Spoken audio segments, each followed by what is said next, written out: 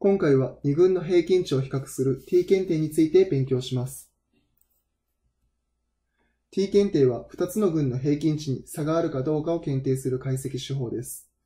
例として実験用マウスについて薬剤を高容量投与した群と低容量投与した群でマーカー A の値に差があるかどうかという研究を想定してみます。それでは、このような研究についてどのような解析手法を利用するのか、このテーブルに沿って選んでみましょう。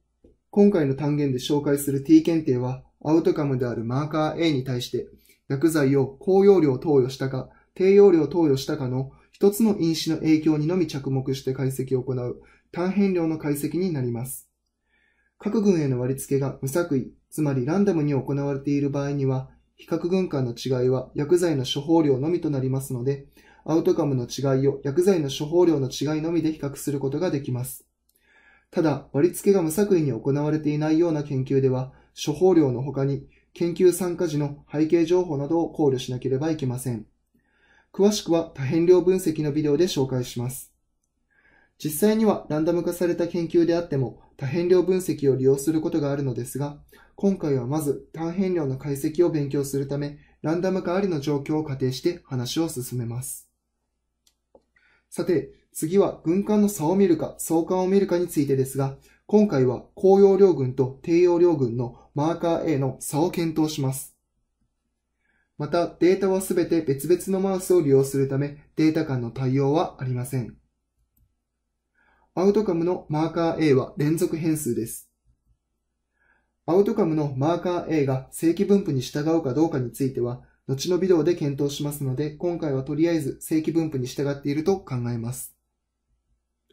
次に、群の数は高容量群と低容量群の2つの群です。これで今回利用する検定はスチューデントの t 検定であることが分かりました。スチューデントの t 検定はデータのばらつきに対して群間の平均値の差が十分に大きいかどうかを検定しています。ばらつきに対して差が小さいような場合には優位差は出にくくなります。反対にばらつきに対して差が十分に大きい場合には優位差が出やすくなることを覚えておいてください。それでは EGR の操作方法を見てみましょう。マーカー3データセットを利用します。今回はマーカー3データの薬剤の高容量、低容量を表す変数である DOS2、そしてアウトカムのマーカー A の値を利用します。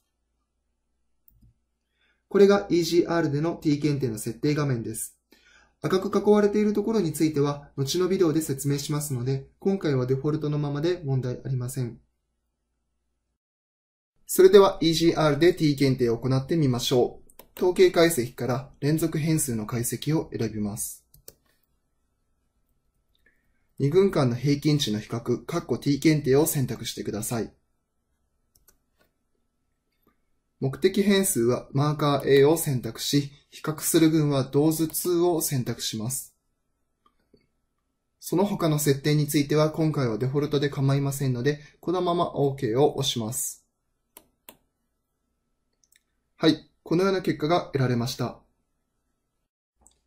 これが EGR で計算したスチューデントの T 検定の結果です。1行目を見ると、低容量群のマーカー A の平均値は19.45でした。2行目の公用量群では、マーカー A の平均値は20.58でした。それらを比べたスチューデントの T 検定の P 値は0.0895ということで、優位水準を5%と設定した場合には、両軍のマーカー A の値に統計的に優位な差があるとは言えないという結果になりました。ここでスチューデントの t 検定を行った時に自動で作成される棒グラフのエラーバーについてですが、これは標準偏差が自動で計算されています。棒グラフのビデオで紹介したように、グラフから平均値の差が統計的に良いかどうかを判別するためには、エラーバーを95%信頼区間にしたものを作成する必要があります。棒グラフのビデオで紹介した手順に沿って EGR のグラフと表から改めて作成してみてください。これで今回のビデオは終了です。ありがとうございました。